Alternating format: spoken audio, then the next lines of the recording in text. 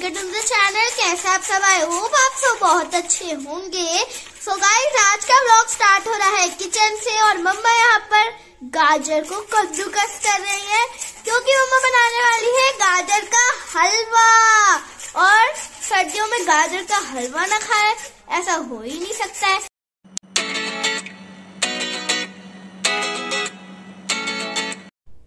So hey guys. Welcome to the channel welcome to the another video so आज मैं बनाने वाली हूँ गाजर का हलवा जैसे कि आपको बता दिया रवनूर ने।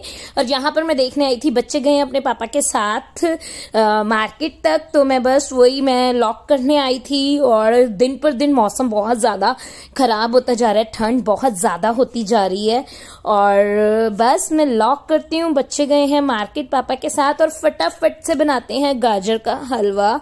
सो चलिए किचन किचन में गाजर मैंने कद्दूकस करके रख दी है लाइट्स ऑफ़ कर देते हैं रूम की है ना? तो चलिए, और अभी जस्ट मैंने कद्दूकस करके गाजरें ऐसे ही रख दी थी, और मैंने कहा पहले बच्चे गए हैं तो मैं बाहर लॉक करके आती हूँ। तो ये रही बहुत ज़्यादा क्वांटिटी में नहीं बना रही हूँ, एक किलो गाजर है, बहुत जल्दी बन जाएगा। सो चलिए स्टार्ट करते हैं। सो so, यहाँ पर देखिए गाजर मैंने रख दी थी भूनने के लिए और गाजर अभी जो इसके अंदर इसका मॉइस्चर होता है जो पानी होता है ना वो एब्जॉर्व हो चुका है वो सूख चुका है। एंड देन अब मैं इसमें ऐड करूँगी देसी घी। तो देसी घी मैं बाद में ही डालती हूँ उसी टाइम नहीं डालती हूँ। कई देसी घी पहले डाल लेते हैं और फिर उसके बाद गाजर भूनना स्टार्ट करते हैं। तो जब गाजर का जो पानी होता है वो एब्जॉर्व हो जाता है सूख जाता है। एंड देन मैं दो से तीन चम्मच मैंने अब यहाँ पर देसी घी डाल दिया है। देसी घी के साथ इसका कलर बहुत अच्छा आता है टेस्ट बहुत अच्छा आता है। सो so, बस देसी घी डालने के बाद 20 से 25 मिनट तक इन्हें मैं मीडियम फ्लेम पर पकाऊँगी गाजर को अच्छी तरह से। दैट मीन्स कि जब तक इसकी जो क्वांटिटी है जितनी आप देख रहे हो उससे कम ना हो जाए तब तक मैं पकाऊँगी बिना ढके पकाऊँगी। थोड़ी थोड़ी देर के बाद इसको हिलाते रहना है ताकि नीचे लग ना जाए। तो चलिए 20 से 25 मिनट के बाद देखते हैं। यहाँ पे आप देखोगे जितनी क्वांटिटी गाजर की पहले थी, उससे आधी रह चुकी है और इसको 20-25 मिनट हो चुके हैं। तो अब इसमें मैं ऐड कर दूँगी आधा गिलास दूध। ज़्यादा दूध मैं नहीं डालूँगी बिकॉज़ मुझे खोया भी मिक्स करना है। सो so, बस अब इस स्टेज पर मैं ऐड करूँगी चीनी और चीनी बिकॉज़ चीनी भी अपना पानी रिलीज़ करती है तो अब इसको बिल्कुल लो फ्लेम पर मैं पकाऊँगी लगातार हिलाते हुए ताकि नीचे स्टिक ना हो जाए। जब तक चीनी जो पानी रिलीज़ करेगी वो बिल्कुल अच्छी तरह से एब्जॉर्ब ना हो जाए और ये पक ना जाए तब तक मैं इसे लगातार हिलाते हुए बिल्कुल लो फ्लेम पर पका लूँगी अच्छे से। और बस देखिए गाजर का हलवा बनाने का बहुत तरीके हैं बट मैं इस तरीके से बनाना ज़्यादा प्रेफर करती हूँ और ज़्यादा टेस्टी लगता है।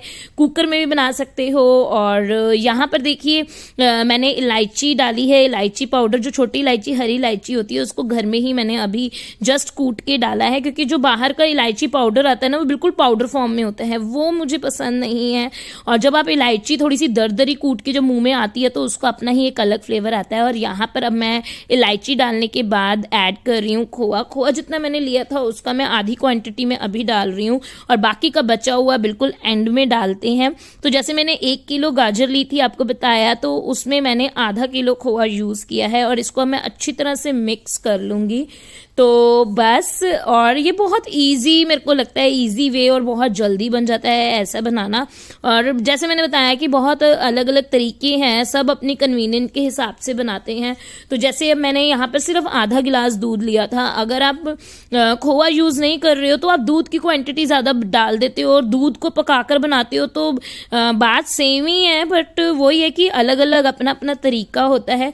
और यहाँ पर मैंने स्टेज पर डाल दिया था जो बाकी का खोआ बचा हुआ था और ड्राई फ्रूट्स में मेरे पास सिर्फ़ किशमिश और बादाम अवेलेबल थे तो वो भी मैंने डाल दिए। अब मैं इनको अच्छी तरह से मिक्स कर लूँगी और बस ये ऑलमोस्ट डन है। बस थोड़ा सा और मैं इसे पकाऊँगी मिक्स करते करते तो ड्राई फ्रूट्स भी जैसे मैंने आपको बोला कि आप मर, अपनी मर्ज़ी से जो मर्ज़ी डाल सकते हो और जिस मर्ज़ी तरह से डाल सकते हो। आज जैसे मेरा मन किया तो बादाम मैंने गर्म पानी में भिगो के रखे थे और उसके बाद इसकी जो स्किन होती है बादाम की जो छिलका होता है वो ईजिली रिमूव हो गया और उसके बाद इसको मैंने छोटे छोटे चंक्स में कट कट करके डाला है। अदरवाइज़ कभी मेरा मन होता है तो इसको जैसे देसी घी में रोस्ट करके उसका अपना एक अलग टेस्ट होता है। या मैं बादाम को ऐसे ही नाइफ के साथ पतला पतला छिलके, है ना? पतला पतला काट के, छिलके के साथ ही ऐसे भी डाल देती हूँ। तो वही है कि जैसे जैसे भी मन हो, वैसे आप कर सकते हो। तो बस यहाँ पर ऑलमोस्ट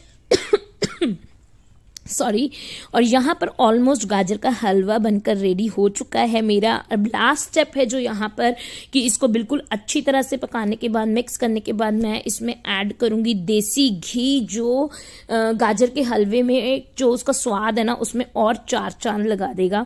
तो देसी घी का जो टेस्ट है ना, ऊपर से एक दो चम्मच और डालना ठंड है। तो ठीक है, जमकर खाइए, पिए, है ना? तो बहुत अच्छा टेस्ट आता है देसी घी का। तो बस ऑलमोस्ट डन है। और आज की वीडियो आपको कैसी लगी ज़रूर बताना। गाजर के हलवे की रेसिपी आई होप कि आपको अच्छी लगी होगी। तो मैं तो इसी तरीके से बनाती हूँ। बहुत जल्दी बन जाता है और बहुत टेस्टी बना, बनता है। और बहुत टेस्टी बना भी था। तो यहाँ पर मैंने देसी घी डाल दिया है और मैं मिक्स कर रही हूँ। सो चलिए जैसे मैंने आपको बताया कि हम आ गए हैं इस वीडियो के एंड पे। आज मैंने आपको शेयर की गाजर के हलवे की रेसिपी मेरा कोई कुकिंग चैनल नहीं है बट नॉर्मली जैसे मैं बनाती हूँ तो मैंने कहा कि चलो आप लोगों के साथ शेयर करती हूँ। और कोई आपके पास गाजर का हलवा बनाने की कोई ट्रिक है, कोई अच्छी और रेसिपी है तो ज़रूर शेयर करना। और मिलती हूँ जल्दी ही नेक्स्ट वीडियो के साथ।